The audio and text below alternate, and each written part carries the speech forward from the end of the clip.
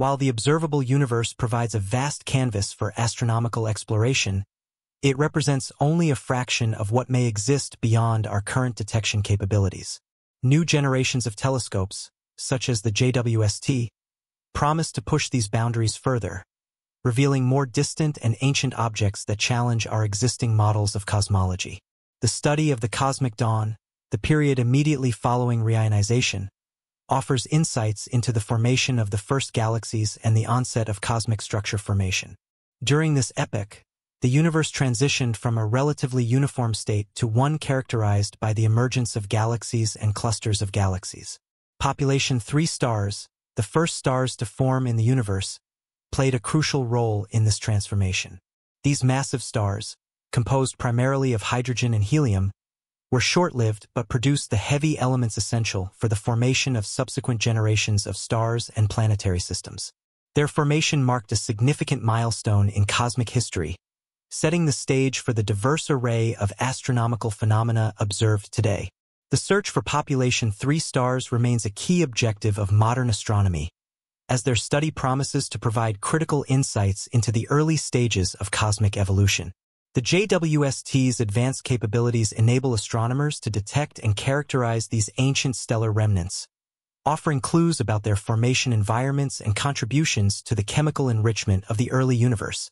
In addition to studying ancient galaxies and stellar populations, the JWST also contributes to our understanding of gravitational lensing. This phenomenon, predicted by Einstein's theory of general relativity, occurs when the gravitational field of a massive object such as a galaxy cluster, bends the path of light from a more distant object. Gravitational lensing serves as a natural telescope, magnifying and distorting the light from distant galaxies and allowing astronomers to study objects that would otherwise be too faint or distant to observe directly. This technique has revolutionized our ability to explore the cosmos, revealing hidden structures and providing valuable data about the distribution of dark matter and ordinary matter in the universe. The JWST's observations of gravitational lensing events, such as those involving the Cosmic Gems Arc Galaxy, highlight the instrument's role in unraveling the universe's most profound mysteries.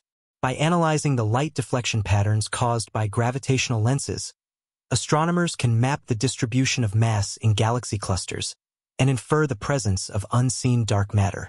Furthermore, the JWST's infrared capabilities enable it to peer deeper into space and time than ever before. Infrared radiation, which is emitted by cooler objects and obscured by dust in the visible spectrum, reveals hidden regions of star formation and planetary systems that are inaccessible to optical telescopes. By studying infrared emissions from distant galaxies, the JWST provides insights into their chemical composition, star formation rates, and evolutionary histories. These observations contribute to our understanding of how galaxies evolve over billions of years, from their formation in the early universe to their present-day structures and interactions. The quest to unravel the mysteries of the universe's origins and evolution continues to drive astronomical research forward. New technologies, such as the JWST, are poised to revolutionize our understanding of cosmic history, providing unprecedented views of distant galaxies, star-forming regions, and gravitational phenomena. As astronomers push the boundaries of observational astronomy, they confront fundamental questions about the nature of dark matter, the origins of galaxies, and the structure of spacetime itself. Each new discovery brings us closer to a comprehensive theory of cosmology that encompasses the vastness of the universe and our place within it. In conclusion, the James Webb Space Telescope represents a milestone in humanity's quest to understand the cosmos. Its advanced capabilities enable astronomers to study ancient galaxies, gravitational lensing events, and the cosmic dawn with unprecedented precision. These observations not only challenge existing theories of cosmology, but also inspire new generations of scientists to explore the universe's deepest mysteries. Through continued exploration and technological innovation, astronomers will continue to push the boundaries of knowledge, revealing new insights into the universe's origins and evolution. The journey to uncover the secrets of the cosmos is ongoing, with each discovery bringing us closer to a more profound understanding of our place in the universe. Was it all just a dream? It all sounds good so far, but we have a problem with this theory. Since the discoveries of the James Webb Telescope, we know of galaxies that are so far away that their light comes from a time less than 300 million years after the Big Bang. One of these galaxies is JADES GSC 114, but there are others such as Maisie's Galaxy or CEERS 9336 that are very old. They all have a redshift of Z at about 14, which means that they existed at a time dating back to the Dark Ages or even before. These discoveries turn our previous cosmological models upside down. According to these models, such massive and bright galaxies should not have existed at this early time in the universe. The existence of these galaxies now means two things. Either the processes of star and galaxy formation took place faster and quite differently than previously thought, or the universe is much older. At the moment, scientists have their hands full reconciling the latest discoveries with the old theories. The discovery of galaxies like JADES GZC-14 challenges our understanding of cosmic evolution. These ancient galaxies, appearing just hundreds of millions of years after the Big Bang, defy conventional wisdom about how quickly structures could form in the early universe. Such findings push scientists to reconsider the timelines and mechanisms of star and galaxy formation in the universe's infancy. One of the most intriguing aspects of these discoveries is their implications for dark matter. Dark matter, although invisible and currently undetectable directly, is believed to exert gravitational influence on visible matter. Understanding its distribution in early galaxies could provide clues about its nature and role in galaxy formation. The James Webb Space Telescope, JWST, continues to be instrumental in this pursuit, leveraging its advanced instrumentation to study these distant cosmic objects with unprecedented detail. Protoglobular clusters observed within galaxies like JADES GZC-14 offer a unique window into the early universe's star formation processes. These clusters, precursors to modern-day globular clusters, are densely packed groups of stars that formed relatively quickly from dense gas clouds. By studying their composition and dynamics, Astronomers hope to unravel the conditions under which these ancient stellar nurseries emerged and evolved. Moreover, the study of early galaxies also sheds light on the epoch of reionization. This pivotal phase in cosmic history marked the transition from a neutral hydrogen-dominated universe to one where ionizing radiation from the first stars reionized the intergalactic medium. The process of reionization not only made the universe transparent, but also set the stage for the formation of more complex structures like galaxies and galaxy clusters. The James Webb Telescope's ability to detect and analyze galaxies from this early era provides crucial insights into the conditions that prevailed during reionization. By pinpointing when and how these early galaxies formed, scientists can piece together a more comprehensive timeline of cosmic evolution. This includes understanding the interplay between dark matter, ordinary matter, and the energetic processes that shaped the universe's infancy. The concept of an infinite universe raises profound questions about its age and structure. If the universe is indeed infinite, it suggests that what we observe is merely a fraction of a much larger cosmos. This idea challenges our current understanding of cosmology, which is based on the observable universe's finite size and age of approximately 13.8 billion years. The implications of an infinite universe extend beyond theoretical physics into philosophical and existential realms. It forces us to reconsider our place in the cosmos and the significance of our observations within a potentially boundless expanse of space and time. It also underscores the limitations of our current observational tools in probing the true extent of cosmic reality. In the spectroscopic investigations, the properties of these protoglobular clusters could be determined, providing interesting new insights into the composition and evolution of early star clusters. The study of protoglobular clusters in distant galaxies could not only help us to find out how the first structures in the universe were formed, but can also provide us with valuable clues as to how matter in general was formed.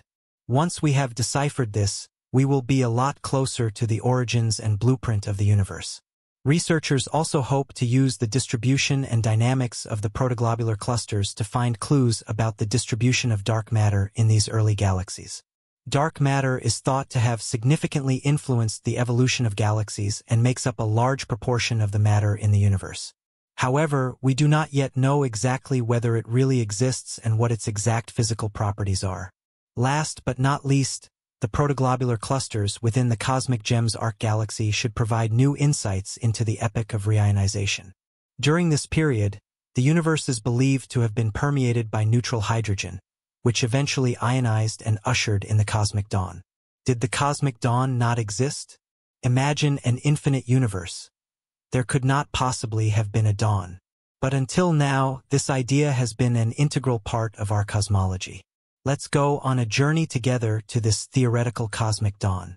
Scientists see this point in time as a crucial phase in the history of the universe. Around 300 million to 1 billion years after the Big Bang, the transition of the universe from an opaque state to a transparent one took place. The dark universe was still dominated by neutral hydrogen. It was like a foggy soup, then, with the formation of the first stars, reionization set in and it became light. The universe was clarified by the chemical processes, and light was able to spread freely. Researchers call this time the cosmic dawn. The time before this was opaque, and as we could only observe visible light with our telescopes, there was little hope that we would ever be able to see beyond the cosmic dawn into the cosmic night. Researchers imagine the scenario before reionization as follows. The Big Bang was the starting gun around 13.8 billion years ago. From second zero to 20 minutes after the Big Bang, Big Bang nucleosynthesis took place. In these first minutes after the Big Bang, the universe was extremely hot and dense. During this phase, the first light elements were formed, consisting mainly of hydrogen and helium, with some traces of lithium and beryllium. This phase ended when the universe had cooled down to such an extent that nuclear fusion within the extremely hot primal soup ceased. Approximately 370,000 years after the Big Bang, the recombination epoch followed, and the universe cooled further, leading to the formation of neutral hydrogen atoms.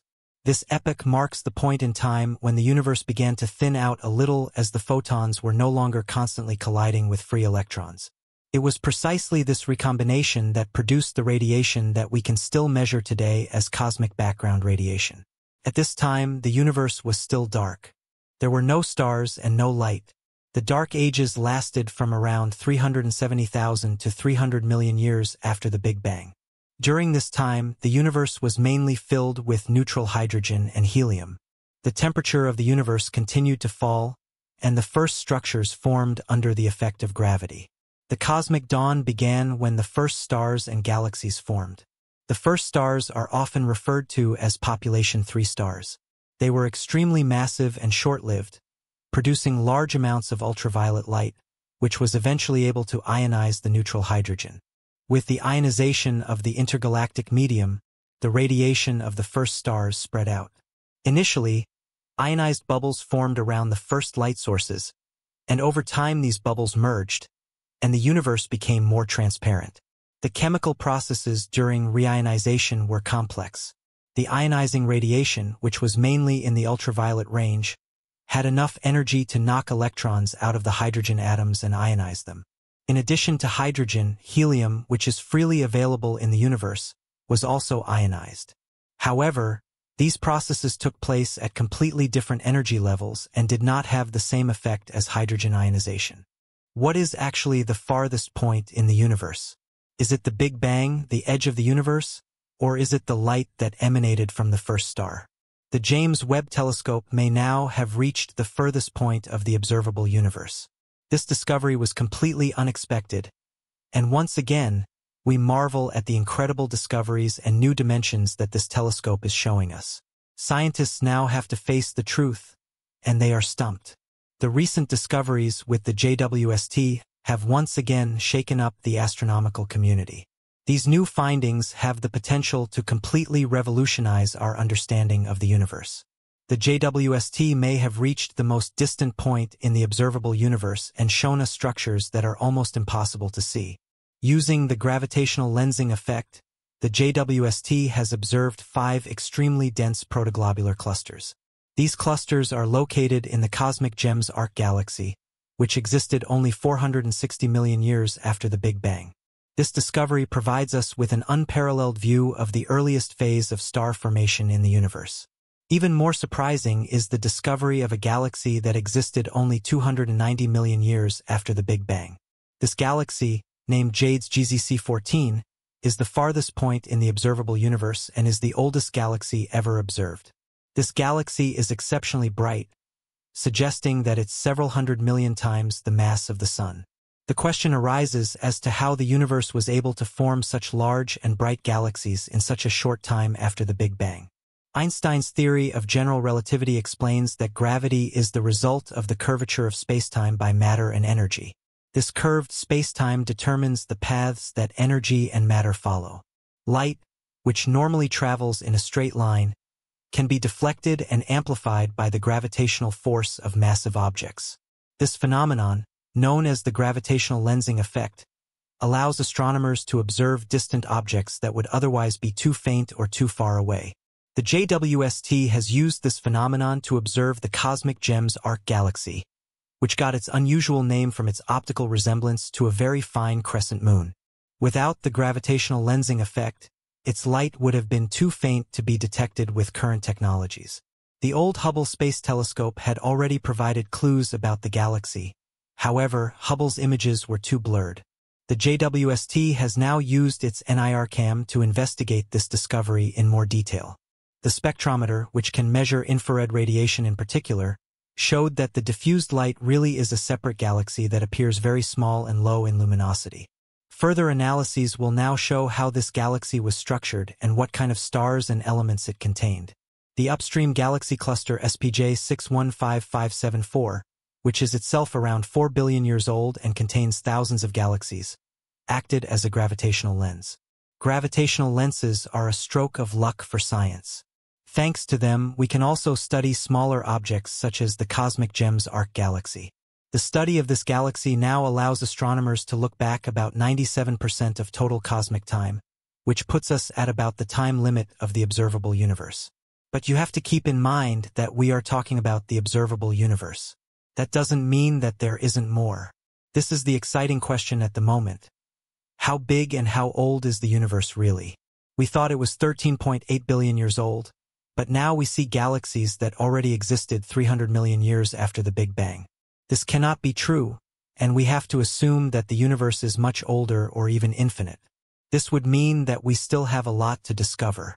What did the protoglobular clusters in JADES GZC-14 reveal only around 290 million years after the previously assumed Big Bang? So-called protoglobular clusters formed in the galaxy JADES GZC-14. These clusters are considered to be the precursors of today's globular clusters, which consist of hundreds of thousands of stars.